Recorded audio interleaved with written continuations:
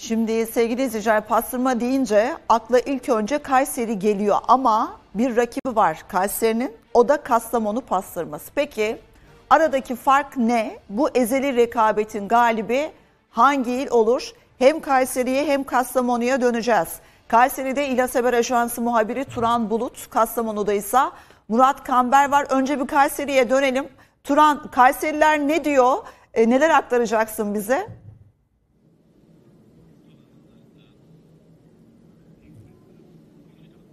Evet şu anda Kayseri Cumhuriyet Meydanı'nda e, pastırmacı ve sucukçuların yoğun olarak bulunduğu Kazancılar Çarşısı'ndayız.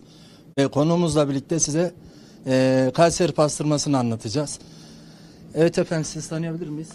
Ee, adım Tolga Korkut. Ee, Kayseri'de hala hazırda pastırmacı esnafı olarak e, işletmecilik yapıyorum. Evet Tolga Bey e, pastırma denince akla ilk Kayseri geliyor. Bunun nedeni nedir? Evet, e, Evliya Çelebi'nin 1400'lü yıllarda e, söylemiş olduğu gibi e, etin üstündeki baharat e, diye bir e, yazısı vardır. Burada da tabii ki Kayseri'den bahsediyor. E, hali hazırda da günümüze kadar bu işletmeler devam etmiş ve e, temsilcilerinden biri olarak da şu an karşınızdayız. Evet Tolga Bey Kayseri pastırmasını biraz anlatabilir miyiz? E, özellikleri nelerdir? Nasıl kurutulur? E, biraz bilgi verebilir misiniz? Şimdi Kayseri'nin e, etken faktörleri var. Bir, e, Erciyes Dağımız. İki, e, karpuz atan dediğimiz bir mevkimiz var. Burada hali hazırda olan bir esinti ve Erciyes Dağı'ndan e, dolayı bir çiğ düşme gibi bir e, olayımız vardır. Bunun özelliği de hali hazırda e, pastırma yapımında e, etin çamanla yani baharatta birleşmesinde e, çok büyük bir e, faktör oluşturuyor. Evet Tolga Bey son zamanlarda e, Kastamonu e, ile bir rekabetimiz var ve Kastamonular en iyi pastırmanın kendilerine ait olduğunu söylüyor. Kayserili e, pastırmacı olarak ve 33 yıllık esnaf olarak bu konuda ne düşünüyorsunuz? Şimdi e, şu şekilde söyleyelim. Bizim milliğimiz e, Kastamonu'nun sarımsağı meşhur. Ama e, pastırmada e, Kayseri meşhurdur. Tabii bunu dünya biliyor.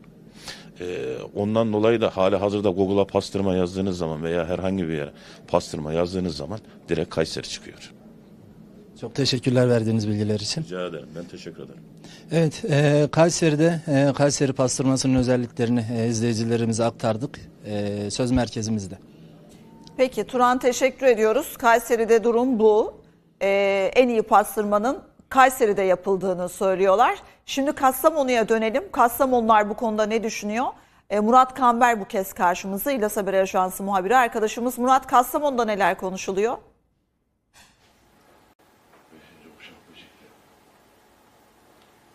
Gülden Kalecik, Kayseri mi Kastamonu mu tartışmasının bir uç noktası olan Kastamonu'dayız şu anda. Dört nesildir babadan oğula geçen pastırmacılık sektörüyle ilgilenen baba oğlun yanındayız. Şimdi yanımda Fatih Karaosmanoğlu var. Yıllardır Kastamonu'da pastırmacılık yapıyor. Dedelerinden devraldı bu mesleği ve oğluyla birlikte devam ettiriyor. Onlar ise Kastamonu pastırmasının doğal olduğu için lezzetinin daha iyi olduğunu savunuyor. Şimdi kendilerine bu iddialarını soracağız.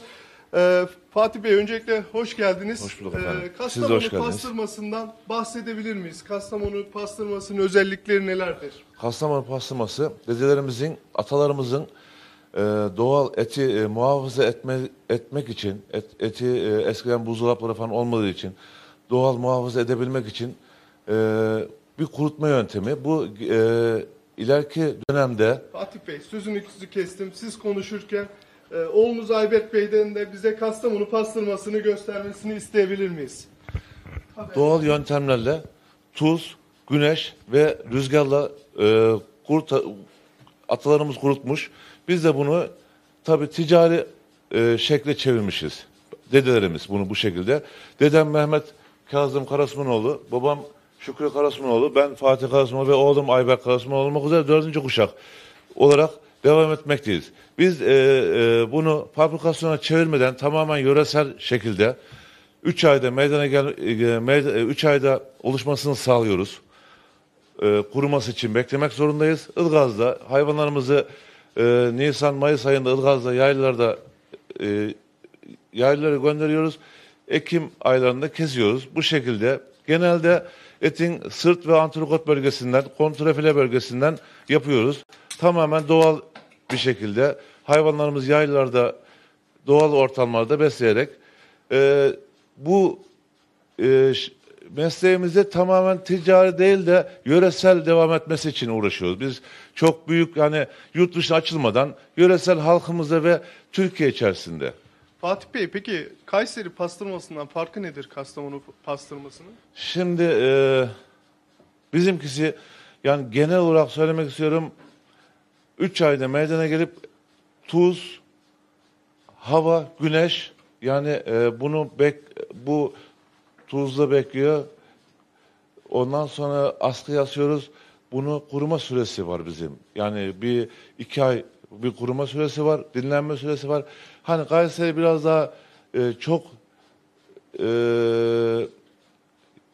yani dünyaya verdiği için biraz daha bunu ha, fabrikasyona çevirmiş durumda. Bizde kesinlikle her şey doğrama şeklinde hiçbir makine, hiçbir e, kimyasal koruyucu hiçbir şey kullanmıyoruz. Direkt müşterimize satıyoruz.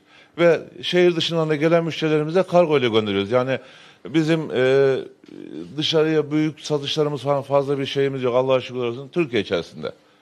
Peki bir de oğlunuz Ayberk Bey, Bey ile konuşalım. Ayberk Bey siz de babanızdan birlikte babanızla birlikte bu mesleği sürdürüyorsunuz. Bir yandan da bize gösterdiniz. Ee, genç bir pastırmacı olarak siz ne söyleyeceksiniz? Kayseri'deki bu iddialara karşı sizin söylemleriniz ne olacak? Ee, yaşım 28. 15 yaşından beri bu işte babamın yanındayım. Babamın babasından ben bu işi öğrendim. Dedemden. Ee, bizim doğal üretim. Ee, güneşte açık havada kurutuyoruz. Açık havada e, kurutuyoruz. Doğal e, dana eti, hayvanın sırt ve antrikotundan yaparız. Hiçbir kimyasal katkı maddesi kullanılmaz. Ben dördüncü kuşak olarak e, bu mesleği daha ileri taşıyacağım ve bu yöreselliği bozmadan. Kayseri, babamın dediği gibi tamamen e, fabrikasyon. Hani e, bizim şu pasma 3 ayda kururken onlar bir hafta 10 günde seri üretim şeklinde yaparlar. O da tabii bizdeki lezzet olmaz. Hani bunun lezzeti... Peki ilgi nasıl Ayberk Bey? İlgi son şükürler olsun. Kastamonu'ya gelen e, her yabancı iş yerimize uğrar. Kastamonu'ya gelemeyen e, müşterilerimiz, misafirlerimiz de internetten, Instagram'dan bizlere sipariş verirler. Biz de onlara kargo ile göndeririz. E, Bayağı bir yoğun ilgi var.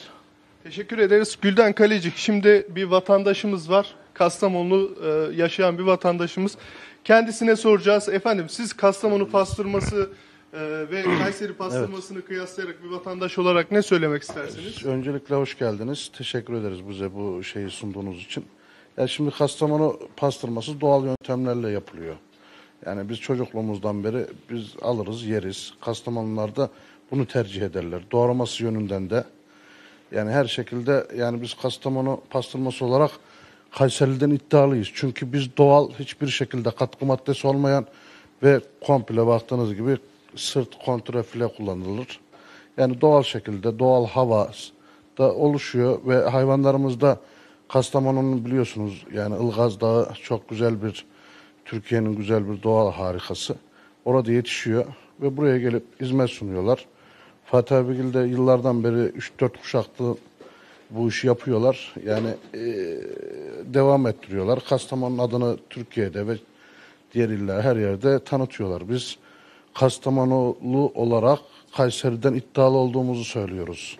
Pastırmada Hodri Meydan diyoruz yani. Teşekkür ederiz. Gülden Kalecik, özetlemek gerekirse Kastamonu'daki pastırmacılar da vatandaşlar da Kayseri'den Kastamonu pastırmasının daha iddialı olduğunu söylüyor. Ee, Bunun ise sebebinin doğallığından, tadından, Ilgaz Dağı'ndan ve Taşköprü sarımsağından kaynaklandığını ifade ettiler. Buradan aktaracaklarımız bu kadar. Söz tekrar sizde. Peki Murat Kamber çok teşekkür ediyoruz. Her iki muhabir arkadaşımıza da teşekkür ediyoruz sevgili izleyiciler. Hem Kastamonu'dan hem Kayseri'den aktardıkları için.